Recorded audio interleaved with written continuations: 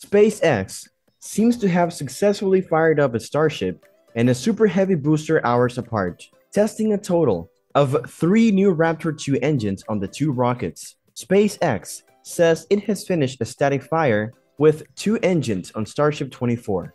This happened less than three hours after the company successfully fired up a Raptor 2 engine for the first time on a rocket prototype. Want to know more about it? Then stay tuned till the end of the video. Welcome to Techmo. In today's video, we will talk about the first time SpaceX fired Starship 24 and Super Heavy Booster 7. SpaceX brought their huge Super Heavy Booster 7 back to the launch pad a few days ago. Reports say that the Booster 7 prototype was moved to Starbase's orbital launch pad at night on Friday, August the 5th, so that it could be tested. And on August the 8th, SpaceX began to test both Booster 7 and Ship 24. Saturday, August the 6th, Elon Musk tweeted from Starbase about the arrival of Booster 7 as well. He put up two pictures. The first one shows B7 heading toward the launch pad. He wrote, moving rocket to launch pad. After B7 got to the launch pad, Musk posted a picture of it next to the orbital launch tower with the caption, at launch pad. Just a few days ago, Musk talked about how he saw the first Starship orbital launch going and what he thought would happen.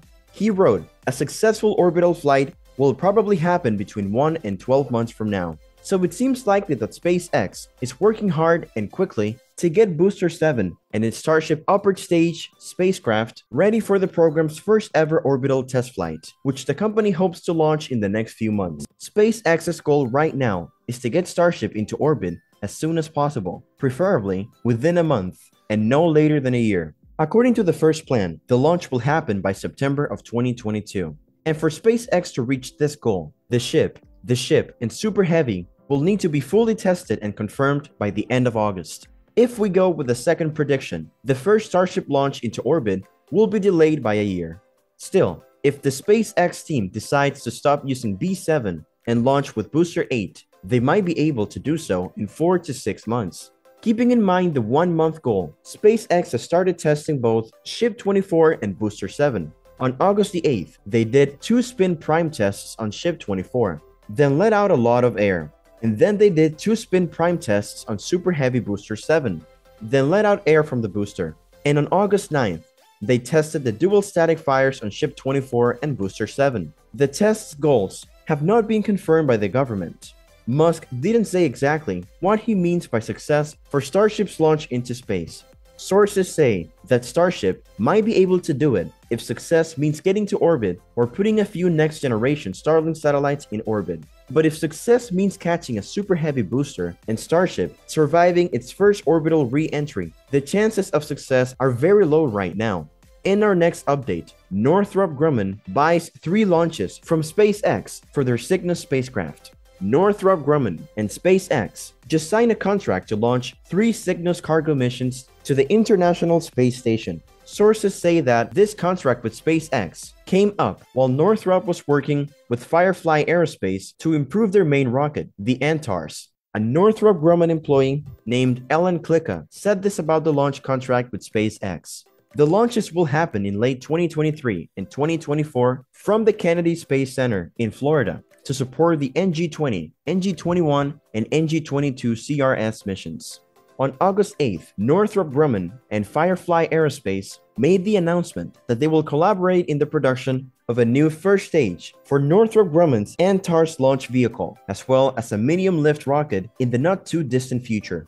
Before, the Yuzhnoye State Design Office and the Yuzhmash machine building plant in Ukraine were responsible for manufacturing the initial stage of the Antares spacecraft. The initial stages of the rocket were propelled by RD-181 engines manufactured by Russia's NPO Energomash. However, as a result of the ongoing conflict between Russia and Ukraine, production of the Antares rocket has slowed down. This is due to the fact that Russia has cut off supplies of the engines and other parts that are necessary to produce these rockets. This was a response to sanctions imposed by the West as a result of Russia's invasion of Ukraine, which caused those sanctions to be imposed. A report stated that the preliminary preparations for two additional Antares launches had already been finished by Northrop. The first one is going to take place in October. However, they were also putting together contingency plans in case the war rendered either the first stage or the engines unavailable. Because of this, the partnership with Firefly was able to be formed. Antares 330 is the name given to the improved model that Northrop and Firefly are in process of developing. According to various sources, the first stage of the Antares 330 will be comprised of seven Miranda engines, which are currently being manufactured by Firefly.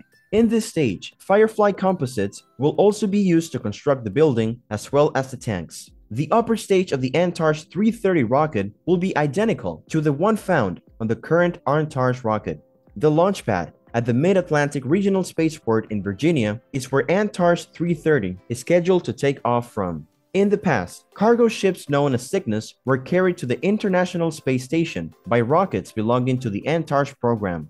However, as a result of the conflict that has been going on between Russia and Ukraine, Russia has ceased sending supplies. Because of this, it is difficult to determine whether or not Antares will be able to launch. Therefore, Antares 330 will serve as the launch vehicle for Cygnus. However, according to Scott Day of Northrop Grumman, it will take nearly two years to get Antares 330 ready for launch into space. This indicates that it won't be available until 2024 at the earliest.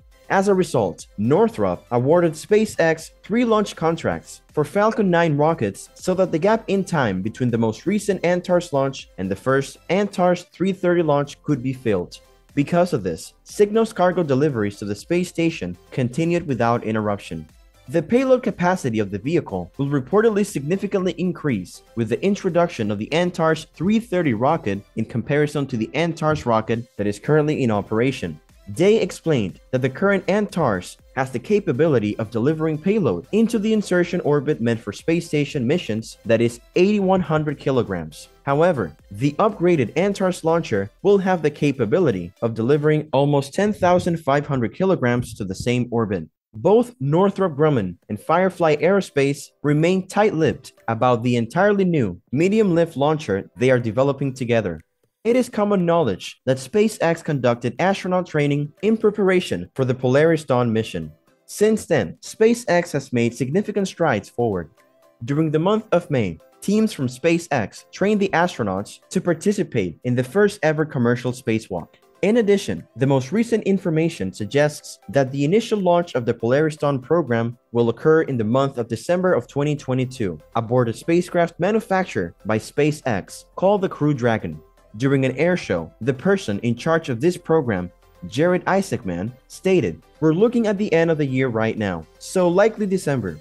Polaris Dawn has more to contribute in terms of his objectives.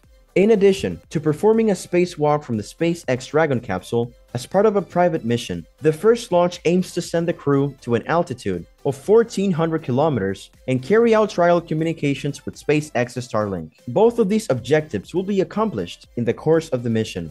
Another member of the Polaris Dawn crew, Anna Menon of SpaceX, stated, There is a tone of new development that's happening to support that. The development of the suit that is currently taking place for this mission is really going to help us learn. And we will be able to build on this as we go to the moon and eventually as we go to Mars. Isaacman came to the conclusion that in order to arrive at our destination, we will make it a priority to gain a significant amount of knowledge along the way. So that's all for today's video. If you like this video, give it a thumbs up and if you want to watch more videos like this one, hit the subscribe button and turn on notifications so that you will always be notified.